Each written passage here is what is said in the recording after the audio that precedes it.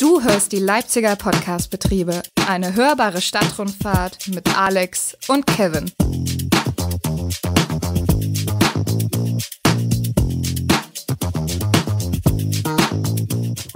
Hallo, schön, dass du da bist. Wir laden dich ein, zusammen mit uns die wohl schönste Stadt der Welt zu entdecken und nehmen dich mit auf eine hörbare Stadtrundfahrt via Bus, Bahn, Bike und Tram. Mit spannenden Orten und interessanten Fakten bringen wir dir die Schönheit dieser Stadt direkt ins Ohr.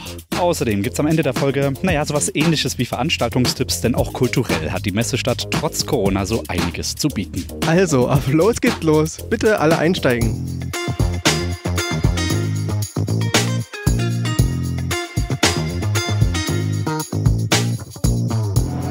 Nächste Haltestelle Großschocher. Und hier sind eure Tourguides, Alex und Kevin. Hallo an euch da draußen vor den Abspielgeräten. Ich gewöhne mir das jetzt einfach immer an. Ja, du bist halt ein Kind der 90er. Da gab es noch Plattenspieler und Kassetten. Walkmans. Und Walkmans. Ja, aber natürlich auch Hi an dich, Alex. Aloha, es sind ja schon fast sommerliche Temperaturen heute. Das sind wir gar nicht mehr Kurze. Hose, wir sind hier in kurzer Hose unterwegs. Äh, Tanktop und äh, das Badehandtuch haben wir auch schon über die Schulter Ja, ge- genau, genau. denken uns heute einfach mal Leipzig ja schön auch, warm. wir sind ja auch gar nicht, wir können ja ein kleines bisschen spoilern, auch wenn wir darüber eigentlich gar nicht reden. Ähm, wir sind ja auch in der Nähe vom See, ne? Naturbad hier und so. Ja, Großschocher. Richtig. Bin ich jetzt nicht so Gerhard volviert, Elroth aber wir haben ja heute wieder fachliche Unterstützung dabei. Das stimmt, aber da kommen wir gleich dazu. Ähm, hast, du ein paar, hast du irgendwas Neues? Erstmal so ein paar Good Vibes wieder. Ein paar Good Vibes, ja. Ähm. Also ich hätte was. Oh, oh. Und zwar ähm, 2040. Also wir müssen äh, Um Gottes Willen. 2040, da müssen wir noch ein bisschen hin, aber spätestens dann haben wir mindestens 65.000 Menschen mehr ZuhörerInnen hier im Podcast. Weil Ah. der Bevölkerungszuwachs in Leipzig äh, steigt Ah. und steigt. Hast du jeden mit eingerechnet, der sozusagen zuzieht und dann direkt vom Bürgeramt so eine Visitenkarte Genau. von dem Sehr Podcast-Betrieben gut. bekommt? Das ist eigentlich eine perfekte Idee. Warum machen wir das nicht? Wir sind dran. Wir sind dran. Genau. Okay. Ja, ne? Das sind doch mega gute äh, Good Vibes schon mal so für den Start. Ähm, Ich bin motiviert. Kannst du dir das gerade vorstellen, 65.000 Menschen, wenn die dir zuhören? Da bricht der Spotify zusammen, das können wir auch gar nicht. Also, nee. Ob wir dann auch mal in die Firmenzentrale von Spotify eingeladen werden? Da komme ich doch endlich mal nach New York. Letztes Jahr hat es ja nicht geklappt durch Corona. Naja. Genau. Mal gucken, wann wir wieder fliegen dürfen. Vielleicht erfahren wir das ja heute auch noch. Vielleicht, vielleicht. Spoiler Alert. Okay. Runde 3 heute. Wir sind wieder mit unserem Kooperationspartner unterwegs, der LVB, Leipziger Verkehrsbetriebe. Und ähm, wie ihr das ja mittlerweile wisst, gibt es diese Kampagne Lasst dich nicht aufhalten, wo ganz viele Fahrgäste äh, ihre Geschichten an die LVB geschickt haben. Und heute haben wir die Sarah bei uns. Und ja, bevor es jetzt gleich mit dem Interview losgeht, das macht nämlich der Alex wieder hauptsächlich. Ich gebe jetzt meine Triggerwarnung raus. Ja. Kannst du dir auch denken, warum, Alex, vielleicht? Ich habe ja auch gerade schon gespoilert so ein bisschen. Also gutes Wetter, es hat was mit gutem Wetter zu tun, mit Verreisen und ja, so ein bisschen Urlaubsvibes bringen wir heute vielleicht rein. Vielleicht sind das die Good Vibes, die du vorhin Das stimmt. brauchtest. Aber wie gesagt, die Triggerwarnung an der Stelle muss sein, weil ihr dürft nicht reißen, das ist das Problem. Und deswegen, ähm, ja, könnte das den einen oder anderen psychisch total aus dem Konzept bringen. Mich vor allen Dingen vielleicht auch. Ja. ja, du Die brichst dann hier Sehnsucht- zusammen während des Interviews Die wieder. Sehnsucht lässt grüßen. genau. Weil wir werden heute vielleicht ins Urlaubsland unserer Träume entführt. Ich bin gespannt. Ja, und damit, ähm, ich gehe jetzt mal Kaffee trinken und du kannst ja. Ihr habt es gerade im Hintergrund gehört, mit der Straßenbahn zu uns gekommen, zu den Leipziger Podcast-Betrieben. Ja, da fährt es auch schon wieder weg, die Straßenbahn. Ist die Sarah. Einen wunderschönen guten Tag. Hallo, herzlich willkommen. Schön, dass du da bist. Du hast teilgenommen äh, bei der LVB bei Lass dich nicht aufhalten und hast eine ganz tolle, ganz besondere Geschichte geschrieben, nämlich als Flugbegleiterin private Rundreisen in Leipzig erleben. So sieht's aus, genau. Crazy. Also das ist jetzt die Triggerwarnung, die Kevin gerade ausgesprochen hat. Ja. Du arbeitest bei einer Fluglinie, normalerweise jetzt gerade eben nicht. Genau, ich bin nämlich gerade im Mutterschutz und erwarte jetzt in einem Monat ein kleines Baby. Oh, in Oh. einem Monat ist es schon soweit. Herzlichen Ho, Glückwunsch ho, ho. von Danke, danke. Ja, auch von mir alles herzlichen. Glückwunsch. Dankeschön. Naja gut, als Erzieher freut man sich natürlich auf die Arbeit. Ich wollte Arbeitsplatzsicherung. gerade sagen, eure Arbeitsplätze werden sicherlich erhalten dadurch. Stell dich doch mal kurz vor, äh, was muss man sonst so über dich wissen? Ja, genau. Also wie ihr jetzt schon mitbekommen habt, ne, ich bin die Sarah, arbeite be- beruflich als Flugbegleiterin und bin hier im wunderschönen Großschorrer zu Hause, wo wir uns gerade befinden, an der Haltestelle. Ja, jetzt gerade befinde ich mich noch im Mutterschutz und äh, hoffe dann aber bald wieder, sobald die Grenzen auch wieder offen sind, äh, unterwegs sein zu dürfen. Stimmt, also ich hätte dich sonst gefragt, Corona, ist das irgendwie so ein Ding, was dich gerade beruflich beeinflusst? Aber wahrscheinlich hat sich das gut ergeben, so mit der Schwangerschaft. Ich äh, wollte gerade sagen, ne, Zeitpunkt perfekt genutzt. nee, aber ansonsten, ja, würdest du halt schon die, die krassen Einschnitte sehen, dass du halt überhaupt nicht mehr unterwegs bist und so. Ich sehe es an meinem Freund, der ist nämlich auch Flugbegleiter und ja, wir hocken die ganze Zeit zu Hause und da passiert es halt nun mal, dass es dann auf einmal zu einem Kind kommt, ne? Und ihr habt euch, ich sag nicht, du hast dich jetzt auch beruflich mit deinem Freund irgendwie, habt ihr euch Oh, kennengelernt? natürlich, Love is in the air und so. Das zieht sich wie ein roter Faden durch diesen Podcast. Irgendwie alle lernen sich beruflich kennen, Marlene ja auch, äh, Richtig. Altenpflegerin. Richtig. Spannend. Erzähl doch mal so ein bisschen, wenn wir schon bei deinem Beruf sind, wie, wie so dein Alltag da aussieht. Also ist man da so eine Woche auf Achse und hat dann irgendwie eine Woche frei oder wie, wie sieht so dein Berufsalltag als Flugbegleiterin aus? Also es geht erstmal damit los, in Leipzig ist zwar viel los, aber unser Flughafen ist halt leider jetzt nicht wirklich gerade so prall. Ne? Deswegen geht es von hier aus erstmal immer nach Frankfurt und ab Frankfurt startet dann die große Reise. Es ist quasi so mein Arbeitsplatz wo es dann losgeht und ähm, je nachdem, wie oft man im Monat unterwegs ist, wie oft man eingeplant ist, bist du dann bis zu vier, fünf Mal im Monat unterwegs zu normalen Zeiten und siehst dann halt so einiges von der Welt. Bei uns ist es so, dass wir nicht nur eine bestimmte Strecke fliegen, also dass wir zum Beispiel nur auf einer Kurzstrecke unterwegs sind oder dass wir halt nur Langstrecke fliegen. Bei uns ist es bunt gemischt, dass jeder mal überall hinkommt und von daher, ja. Also ist man auch unterschiedlich lang unterwegs und es gibt nicht so ein krasses Schichtsystem, dass man sagt, ich habe ja heute Frühschicht, wir sehen uns heute Abend, Schatz, sondern kann auch sein, naja, ich bin erst in drei Tagen wieder da. Nee, du kannst es halt überhaupt nicht verallgemeinern. Also von wegen auch, ja, ich habe hier so eine 40-Stunden-Woche oder so. Es ist bei uns halt überhaupt nicht so. Es ist entweder mal eine Woche, wo du gar nicht arbeiten gehst oder eine ganze Woche, wo du weg bist. Das sieht eher so aus. Das heißt, ihr übernachtet dann auch in den Ländern, wo ihr dann seid, oder fliegt ihr direkt wieder zurück nach Frankfurt? Genau, man kann sich das ganz gut so erklären. Ähm, umso länger der Flug ist, umso länger bist du dann halt auch vor Ort, beziehungsweise hast danach eine längere Ruhezeit wieder zu Hause. Und ähm, genau, jetzt je, je kürzer der Flug ist, umso kürzer bist du dann halt auch vor Ort. So sieht das aus. Also sag mal jetzt mal, du fliegst bis ans andere Ende der Welt. Unser längster Flug ist zum Beispiel nach Buenos Aires.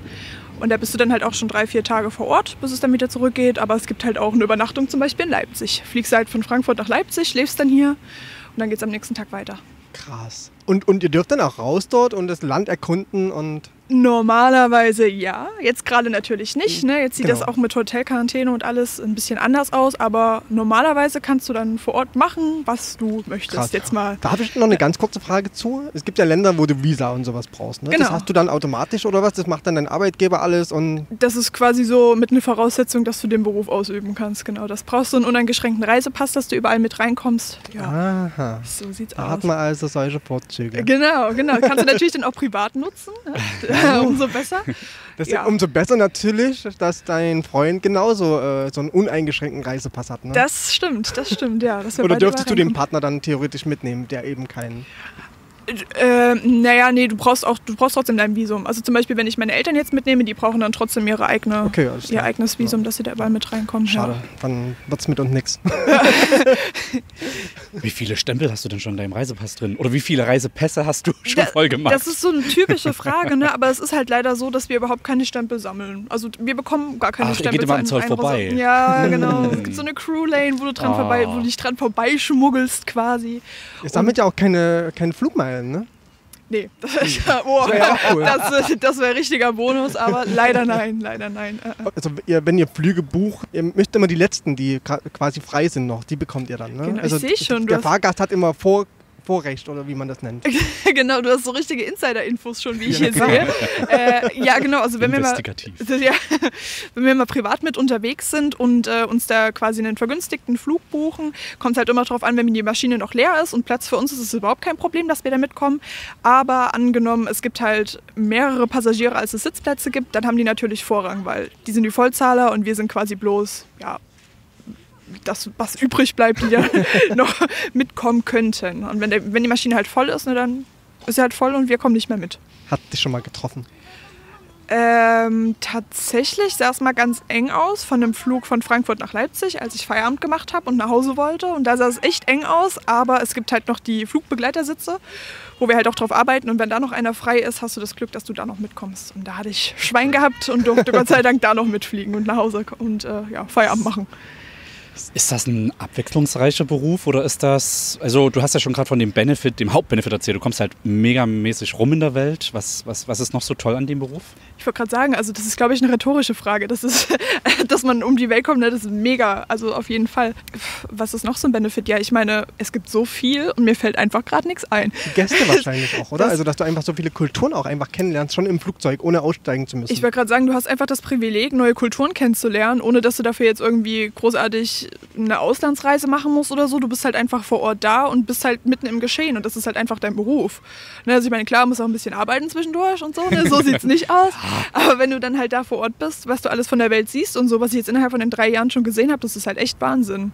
Drei Jahre bist du jetzt, fliegst du jetzt schon. Genau, genau, so sieht's aus. Gibt es da so eine Begrenzung, dass man im Jahr nur eine bestimmte Anzahl an Stunden fliegen darf? Weil ich weiß gar nicht, bei Piloten ist es, glaube ich, so, ne? UV-Strahlung und Druck und sowas. Das ist ja auch eine körperliche Belastung. Da gibt es schon eine Begrenzung, aber das ist, äh, kommt je nach Arbeitsvertrag kommt es drauf an, wie viele Stunden das dann halt quasi sind bei dir. Aber das absolute Maximum, was es wirklich gibt, sind 95 Stunden im Monat, die du nur in der Luft verbringen darfst. So und ähm, ja, Ist Leipzig dann mittlerweile schon langweilig oder? auf gar keinen Fall. Nein, also wirklich unter gar keinen Umständen. Ich, hab, ich sag auch immer, mich kriegt ja nichts und niemand weg, auch wenn ich die schönsten Städte auf der ganzen Welt schon gesehen habe. Ne? Aber das ist meine Heimat und hier will ich nicht weg und hier kriegt mich auch nichts und niemand weg. Also ich weiß wirklich nicht, was passieren müsste, dass ich hier wegziehe. Also wir nehmen dich beim Wort und wir äh, werden das jetzt immer als Argument benutzen, wenn uns jemand fragt, was ist die schönste Stadt der Welt? Und dann werden wir auf jeden Fall sagen Leipzig und wir haben es aus sicherer Quelle Ich wollte gerade sagen, dadurch, dass Du jemand die ganze Vergleich. Welt schon gesehen hat, ne, ich sage trotzdem, es ist Leipzig, also Mutterstadt, love it. Sehr gut. Du lebst also schon immer in Leipzig und, oder bist zugezogen? Born and raised, genau. ja, schon immer. Schon Aber nicht in immer- Großschocher zumindest. Genau, Großschacher, das ist erst meine Wahlheimat seit circa einem Jahr jetzt. Ja, Weil ihr sozusagen stehst schon halt vergrößert habt für den Familien. Äh. Ja, ne, und dann auch endlich meine eigene Wohnung und ja. so und dann mit den Freunden zusammenziehen, ne, das wird dann auch mal Zeit, dass das. Und du dann stehst mal scheinbar auf, auf Action, ne? Haben wir ja jetzt. Äh, Ja, also, klar, no risk, no fun. Definitiv. Also wir haben es auch schon hier im Vorgespräch gemerkt. Also es gibt hier schon so ein paar Punkte, wo man sagt, also ist schon aufregend hier in Großschocher Es zu leben. Ne? Die langweilig. Mentalität hier von den Menschen. Äh. Das stimmt. Wenn der Fernseher mal nicht funktioniert, setze ich einfach vors Fenster. Ah, ne? ja. Und, äh, quasi Free TV. Ähm, was ist denn deine liebste Ecke in Leipzig, wenn es nicht gerade deine Heimathotel hier ist? Wo bist du noch gerne unterwegs? Also ich komme jetzt gerade frisch vom Kosputner See. Die zählt definitiv mit dazu. Oh, Es ist ja. eine mit der schönsten Ecken. Kommt halt auch dazu, dass es einfach mit hier in der Heimat liegt. Ist schon laut, wenn die Straßenbahn hier ums Eck kommt. Ja, also wie gesagt, äh, liegt halt einfach daran, dass ich hier halt mit aufgewachsen bin. Im wunderschönen Südwesten. Aber was ich auch total schön finde, ist das Völkerschlachtdenkmal. Oh, Abends am Völkerschlachtdenkmal. Wir Da waren äh, letztens äh, auf dem Südfriedhof. Ah, also ja, dahinter ja. Völkerschlachtsdenkmal kommt noch. Da wart ihr noch nicht gewesen? Nee. Da waren wir noch nicht. Wir müssen uns ein paar Highlights ja immer noch aufheben über die Staffeln hinweg sozusagen. Das stimmt. Und die Wahrheit ist, dass im Oktober ist ja dieses, jährt sich ja dieses Völk, diese Völkerschlacht und da findet, finden auch spannende Dinge dort statt. Und das hat letztes Jahr nicht stattgefunden wegen Corona und dann haben wir gesagt, verschieben wir das noch um ein Jahr und hoffen, dass sie dieses Jahr dieses große Schauspiel dort aufführen. Zur großen Völkerschlacht mal Dass es schauen. dieses Jahr dann klappt, Genau. genau. Das das, genau, also Corona hat uns ein bisschen einen Strich durch die Rechnung gemacht, aber Mhm. davon lassen wir uns nicht aufhalten. Genau, lasst euch auch nicht aufhalten. Genau. So, das Beste kommt zum Schluss, nämlich deine Geschichte, mit der du gewonnen hast bei den Leipziger Verkehrsbetrieben. Als Flugbegleiterin private Rundreisen in Leipzig erleben und du hast es, ich fasse es nicht, gereimt. So sieht's aus, genau. Eine meiner Stärken. ich habe die da mal ausgespielt und es scheint ja auch was gebracht zu haben. Ne? Bist du, bist du Poetry Slammerin vielleicht auch noch sowas? Machst du sowas? Es, es wäre mal eine Idee, aber bisher, nee. nee, hab ich, müssen wir, das hab müssen ich wir mal mit Lina, da müssen wir, da müssen wir mal was hier. Stimmt, Poetry Slammer hatten wir auch schon im Podcast, aber das kommt wirklich sehr nah ran. Und wenn du magst, kannst du uns die Geschichte gerne vorlesen. Ja, Ich klar. würde dir das iPad überreichen. Super, im Kopf habe ich die leider noch Das nicht war ganz. Product Placement. Sehr perfekt. Ich starte einfach. Okay. Egal ob nah oder fern, als Flugbegleiterin habe ich das Reisen sehr gern. Am liebsten bin ich jedoch stets daheim. Das kann nur mein geliebtes Leipzig sein. Mit der Straßenbahnlinie 1 zum Kulkwitzer See oder mit dem Bus geht's schnell ins Belantes. Für die Adrenalin-Junkies definitiv ein Muss. Auch in die Innenstadt geht's innerhalb von kürzester Zeit. Dafür stehen uns täglich auch unzählige Busse und Bahnen bereit. Mein Leipzig aus den Öffentlichen zu erleben, für mich könnte es kaum was Schöneres geben. Überall schnell und komfortabel hinzureisen, dazu muss man sich nicht immer ein Flugzeug leisten. Umweltfreundlich von A nach B und das zu jeder Tages- und Nachtzeit. Die LVB ist immer startbereit. Die Leipziger Verkehrsbetriebe möchte ich nicht missen, denn für meine privaten Rundreisen bekommt man sie definitiv nicht mehr aus dem Gewissen.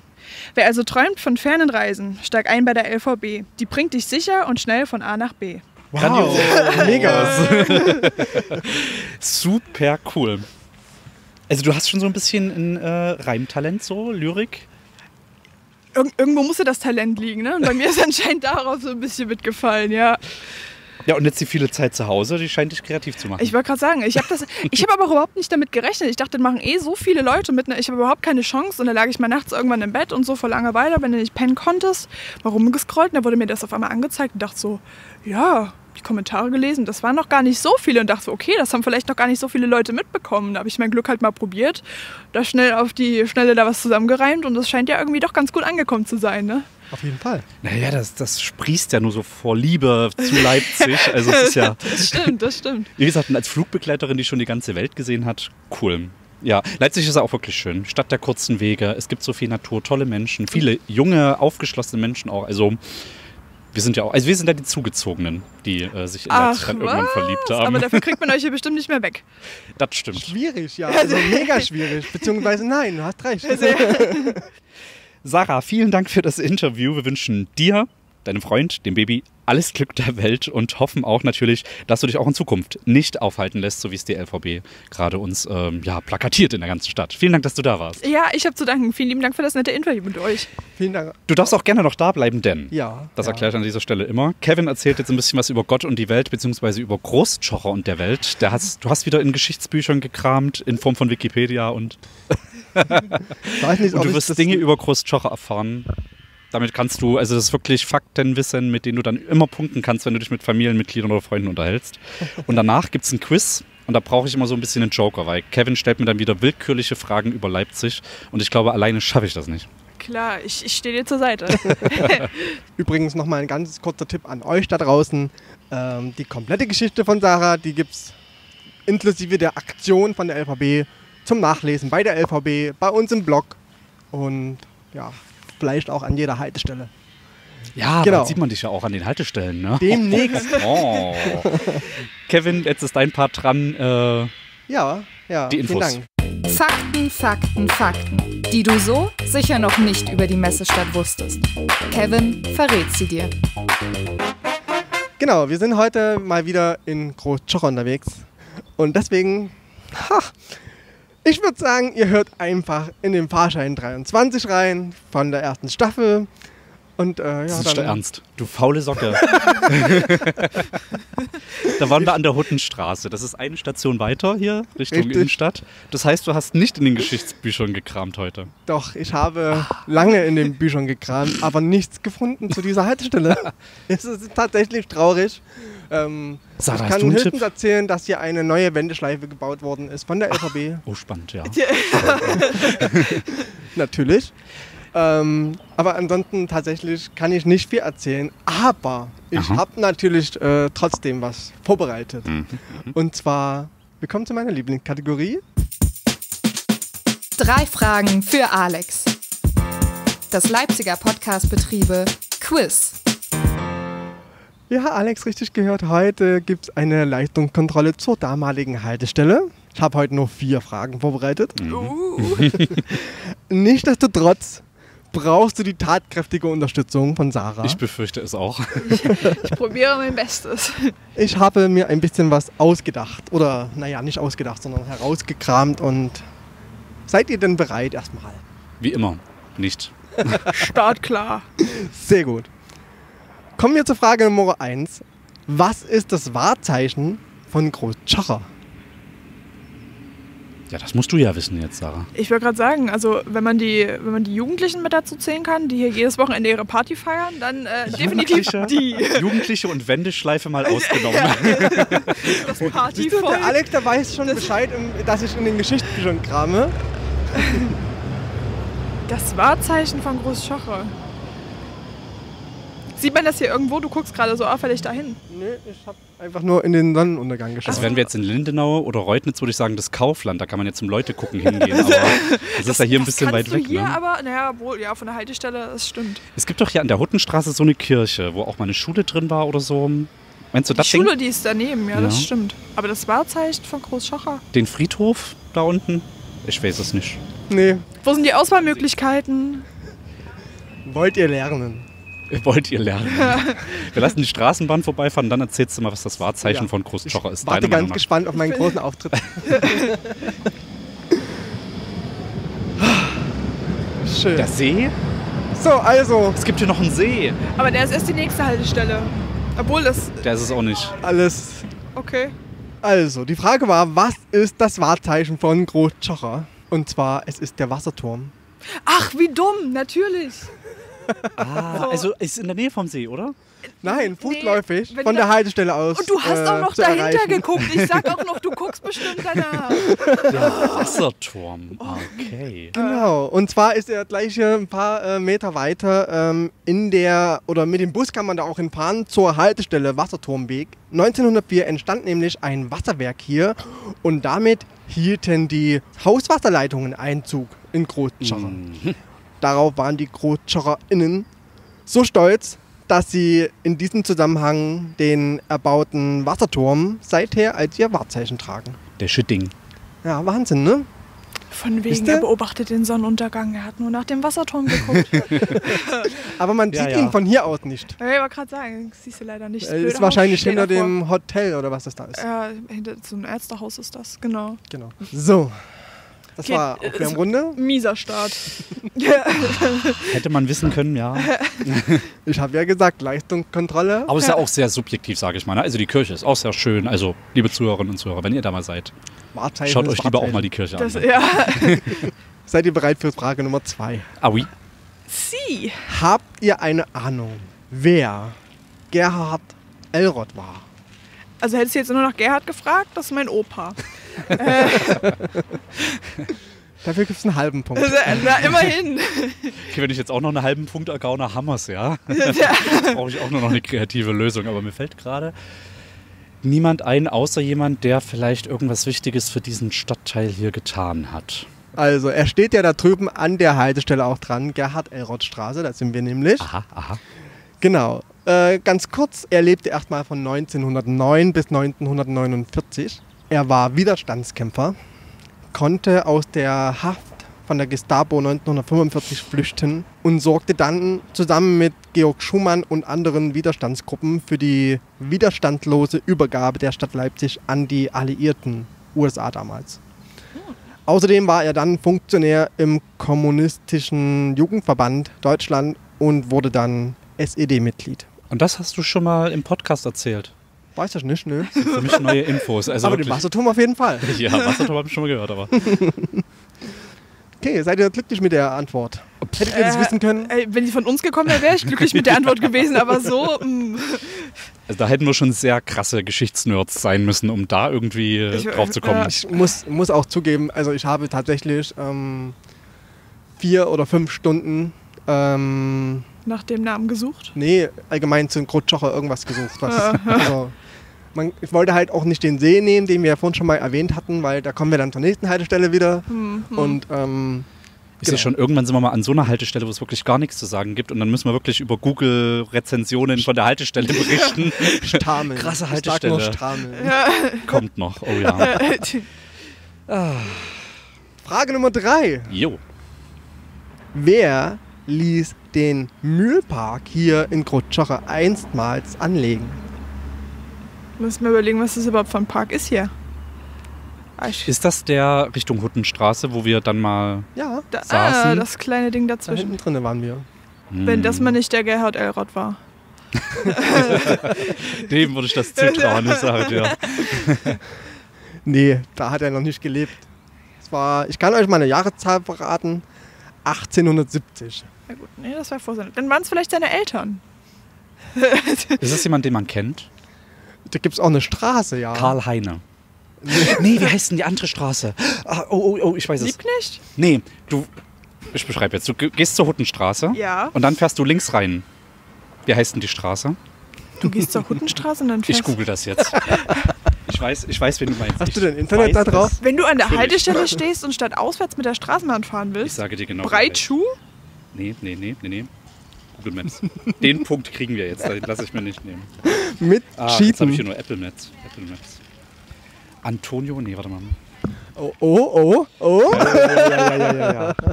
Nee, warte mal. Antonio. Giordano Bruno Straße. Nee. Nee, irgendwas Das mit mit, Antonio. er hat schon den ersten, den Vornamen hat er schon Antonio. Nicht ganz, aber Anton. Anton Zickmantel. Ach, das. Ich dachte, ich bin jetzt... Ei.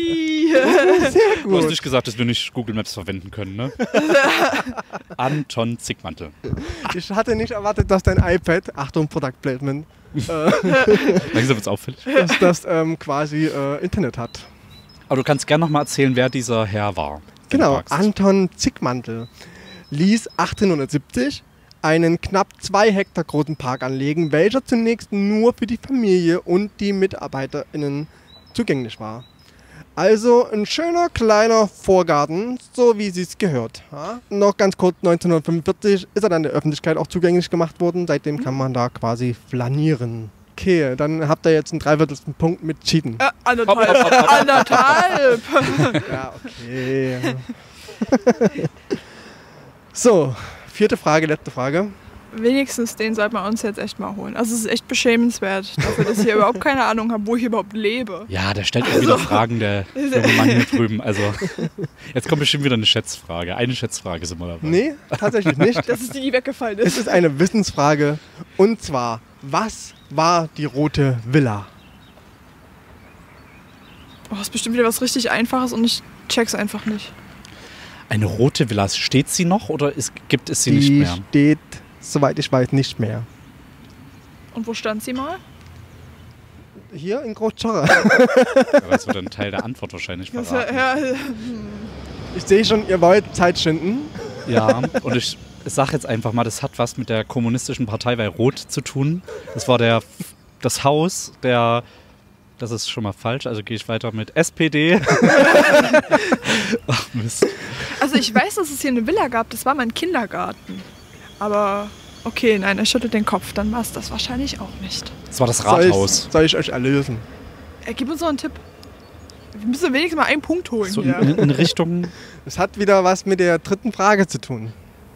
mit Herrn Frage. Zickmantel und mit seinem Park.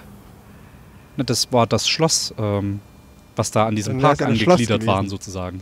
Man, Naja. man, man kauft doch ein Schloss nicht Das war Villa, den also. seine Villa. Bitte? Das war den seine Villa. Nee. Hm. Nicht ganz. Der hat die erbaut, erbauen lassen. Das weiß ich nicht. Er. ähm, Es hat was mit Anton Zickmantel zu tun, aber er hat es nicht bauen lassen. Und er hat dort nicht gelebt. Kevin, du musst uns echt, also du musst es sagen. Das ist jetzt so drei Fragezeichen über Das uns. ist jetzt, ja, das macht alles keinen Sinn. Es war Wohn- und Arbeitsstätte von Max Zickmantel, Der Nachname kam mir drinne vor. dem Also, Sohn von Anton Zickmantel. Äh, von der Villa aus wurde das Unternehmen gemanagt. Ja, Großartig. genau. Und ähm, ihr seid durch. Herzlichen Glückwunsch. Ähm, ich habe noch eine Kleinigkeit. Du weißt wahrscheinlich, was kommt, wenn du unseren war Podcast ge- hörst. äh, äh, nee, tatsächlich bis zum Schluss habe ich, muss ganz ehrlich gestehen, habe ich noch nicht gehört. Aha. Du bist also einer von Ich bin so ein kleiner die hier schon Skipper, gar nicht weißt mehr du? zuhören dieser Stelle. Ich dachte so, Alter, ich habe eh keine Ahnung und dann so, aha, so ein Nee, du hättest jetzt sagen können, du hörst das jeden Tag zum Einschlafen und irgendwie schläfst du dabei immer ein. Und dadurch, dann äh, äh, natürlich, das wollte ich damit auch sagen, dass ich bis dahin einfach noch nicht gekommen bin. Und zwar haben wir eine kleine ähm, Aufmerksamkeit für dich. Ach, wie cool. süß, sogar mit Bommel. Das ist ja süß. Ich habe meine abgemacht. ich Ich, wurde danke dafür euch. sehr kritisiert. Was? Gerade die Bombe ist das Coole daran. Vielen Dank. Eine Sehr Leipziger Podcast-Betrieb mit Mütze. Das ist ja süß. Es ist auch noch ein bisschen Dankeschön. kalt draußen, wir haben es extra so bestellt. Ja, und außerdem, die Frauen kennen das Problem, wenn die Haare einfach mal nicht liegen, sitzt die Mütze auf. Ich kenne es auch, ich kannte es auch so, beziehungsweise ich glaube, man muss Corona. das gar nicht auf Frauen reduzieren in Corona-Zeiten. Ich wollte gerade Corona-bedingt haben das alle mal die Sehr- Erfahrung stimmt, gemacht. stimmt, solange wie die, Friseur, äh, wie die Friseurgeschäfte geschlossen waren. Genau. That's true. Super, vielen lieben Dank dafür. So, und ähm, für euch da draußen, wer noch mehr von der Stadtteilgeschichte Großschocher erfahren möchte, sollte sich dem oder sollte dem örtlichen Museum Heimatblick von Werner Franke einen Besuch abstatten. Oder sich einfach an Kevin wenden. Ja, Der kennt sich nämlich richtig gut aus. einfach mal anrufen. Wir kommen zur letzten Kategorie. Nee, ich habe noch einen Fun. Fact. Oh, ein Fun Fact. Ja, na klar. Uh, Den dürfen, müssen wir natürlich unbedingt hören. Ja, na klar. Und zwar, ähm, wie bist du hierher gekommen heute? Mit dem Rad. Mit dem Rad. Hast du was gemerkt unterwegs? Ja, es war schön sonnig. Das stimmt. Frühlingshaft schon fast. Das stimmt. Die Leute sind gewöhnungsbedürftig. Sind tolle, sind tolle hier Menschen. in- du bist sehr willkommen geheißen, wenn du nach Großschorrer einreist. Denk dran, I Man don't feel hate. Freunde, glaube ich. I don't Ja, nein, nein, nein, nein. Im positiven Sinne. Also, Spread love. Hast du, äh, ist dein fahrbarer Untersatz gut über die Straßen gekommen? sie. Wirklich? Was? Du Wo bist denn du lang gefahren? Ich bin nicht so lange hier lang gefahren. Also ich kam hier vorne. Also hier diese Straße ist gut Ja, ausgebaut. hier- Außer dass ich fast die, in die die Haltestelle ist ja auch neu gemacht. Na, dann bin ich rechts abgebogen, dann war kein Großjocher mehr da. Da ist es schon, schon fast am Aber wenn du, den, wenn du die, die Dieskaustraße oder auch wo wir Huttenstraße unterwegs waren, es war ja, es ist ja ein Grauen. Ja, kann sein. Das ist, ja, da entbindest du vorzeitig, wenn du da. Wenn Aber nicht mehr lange. Selbst wenn du Straßenbahn Ist fährst. so, ist wirklich so. Aber nicht mehr lange. Ach, 2023 Naja, ja. soll äh, gebaut werden. Ne, 22 sogar schon. Scheiße, jetzt habe ich die Jahreszeit gar nicht aufgeschrieben. Pardon. Ähm, egal. Es, nee, doch, hier steht, äh, und zwar müssen wir noch gut anderthalb, zwei Jahre warten. Und dann wird die Straße gebaut. 23 Millionen Euro nimmt dafür die Stadt in die Hand. Und dann wird die komplette Dieskaustraße gemacht. Oh. Und ihr müsst 20 Kilometer um Leitung fahren, um in die Stadt zu kommen. Ich wollte gerade sagen, wie kommt man denn hier von A nach B? Puh. Völlig Das ist egal, danach wird's Na schön. toll. Hierher gezogen und dann wird erstmal alle die Verbindung gekappt zu Leipzig. naja. Rutschhocher Und dafür danach wahrscheinlich autark. Ja, butterweiche Asphalt. Danach ist wahrscheinlich hier der Asphalt butterweich. Möchte sein. Na, wohl, du hast ja das heute schon so empfunden, dass hier alles in Ordnung ist. ne? Ich war, wie gesagt, ich bin nicht so viel hier. Also die Strecke hier geht. Wie heißt die Ja, Straße? das ist in Ordnung hier. Das stimmt. Der Radweg Ja. auch bis hier bis nach Knautal. Ab hier ist es in Ordnung. Aber Läuft, davor, also echt, das So, die letzte Kategorie. letzte Kategorie.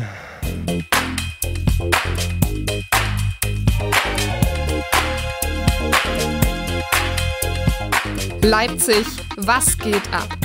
Hier sind die Leipziger Podcast-Betriebe Veranstaltungstipps. Es ist traurig. Es ist immer noch Lockdown. Die haben uns wieder den Feiertag geklaut. Den wir uns mal für einen Tag erhofft hatten. ja. Morgen habt ihr nicht frei, ihr müsst morgen arbeiten gehen. Und das Ding ist, es ist halt immer noch Corona. Ne? Also mit Veranstaltungen und sowas ist, leider es immer noch ein bisschen schwierig. wirklich dabei. Ähm, ich würde euch empfehlen, es ist ja Ostern. Genießt also schöne Osterfeiertage demnächst. Geht ein bisschen raus draußen. Das Wetter soll ja gut werden, glaube ich. Und macht das Beste draus. Und ansonsten guckt einfach mal bei overnight.de slash Leipzig oder bei kreuzer-leipzig.de vorbei. Da gibt es bestimmt die eine oder andere virtuelle Veranstaltung. Und ansonsten Support Your Local ist, glaube ich, auch ganz cool. Click and Meet, weiß gar nicht, gibt es das noch? Stand heute ja. Wie es dann morgen äh, aussieht. Hm. Hast du diese Corona-Beschränkungen? Ich weiß es nicht. Also es ist ja wöchentlich anders. Also Ihr merkt, unser Halbwissen glänzt immer. ja, Alex, ja, du erinnerst dich doch noch ja. an die legendäre Podcast-Folge, Mhm. wo wir in Knautleberg waren. Da waren wir nämlich am BBW Leipzig unterwegs. Diese Einrichtung ist jetzt 30 Jahre alt geworden. Herzlichen Glückwunsch von meiner Seite her nochmal. Schade, dass diese Pandemie diese Riesensause vereitet. Dennoch, am 8.5. gibt es nämlich einen digitalen Tag der offenen Tür. Und warum erzähle ich das eigentlich? Mich gibt es mittlerweile dort im Interview zu hören, zu sehen, zu lesen. Ich wollte einfach mal noch mal ein bisschen Werbung machen. Ja, ja, Marketing. Eine Marketinggründe. Genau. Ich wurde nämlich befragt zu meiner äh, Ausbildungszeit vom Berufsbildungswerk. Und ja, dem stand ich Rede und Antwort. Und das kann man, wie gesagt, im Videoformat mit Gebärdensprache und eben auch in Textformat dort nochmal sich anschauen. Na, aber da Und müsst ihr direkt Link- mal vorbeiklicken nach dieser Podcast-Folge. Genau. Liebe Leute. Genau. Und die Links dazu, die gibt bei uns im Podcast. Wie immer natürlich. Haben wir noch irgendwas, Alex? Die Verabschiedung. Die Verabschiedung. Vielen Dank nochmal an dich, Sarah. Ich Es war uns eine Freude. Sehr, sehr gerne. Und Das waren die Leipziger Podcastbetriebe für heute. Für mehr Informationen besuche unsere Webseite podcastbetriebe.de oder folge uns auf Twitter, Facebook, Instagram und sonst wo. Außerdem erreichst du unseren Anrufbeantworter telefonisch unter 0341 4926 4182. Um keine Folge mehr zu verpassen, abonniere am besten jetzt unseren Podcast. Und wenn dir diese Folge gefallen hat, freuen wir uns sehr über positive Rezensionen und Bewertungen, denn jedes Like und jeder Daumen nach oben hilft uns, diesen Podcast ein klein wenig bekannter zu machen, sodass wir demnächst noch mehr Menschen auf unsere hörbare Stadtrundfahrt mitnehmen können. Wir hören uns wieder am 14. April, also in zwei Wochen. Und dann steigen wir an der Haltestelle Pommernstraße aus. Noch nie gehört. Bis dahin. Tschüss. Ciao, ciao. Endhaltestelle. Bitte alle aussteigen. Wir bedanken uns, dass Sie die Leipziger Podcastbetriebe gehört haben und würden uns freuen, Sie bald wieder als Hörer begrüßen zu dürfen. Mehr Infos auf podcastbetriebe.de.